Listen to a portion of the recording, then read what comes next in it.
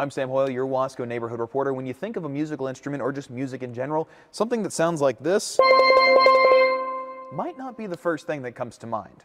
According to a BBC News historical account, the instruments date back to the 1930s, originating in Trinidad and Tobago, and is thought to be the only instrument created from industrial waste. The program's director says the history behind the instruments is just as important as the music. The history is about uh, enslaved people who were denied their music However, they used the raw materials of the area where they were at to create a new kind of music. For the last 12 years, that music has permeated the school, and in talking with students during the program's final rehearsal ahead of their concert, all noted they were drawn to the opportunity after being introduced to the sound.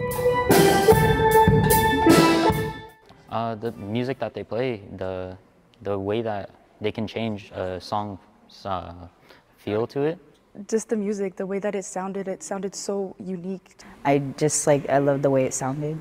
And so that's when I was just like, I want to do it. In schools across the country, bands featuring traditional instruments like saxophones and trumpets and drums can be found. But for some of these students, the steel drum program in Wasco is important because it's unique. Most people don't really know what this is or ever heard it play. And when people come out and watch this, it's amazing seeing like their eyes open or be like, oh, that's cool. You have clarinets, trumpets, trombones, like all the basic stuff you see, and then all of a sudden you have like a metal barrel that makes noise, and it's like, I wanna, I wanna figure out how that works and play it.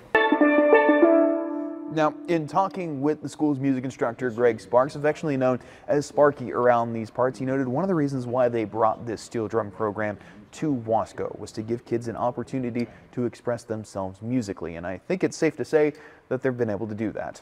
In Wasco, I'm Sam Hoyle, your neighborhood reporter.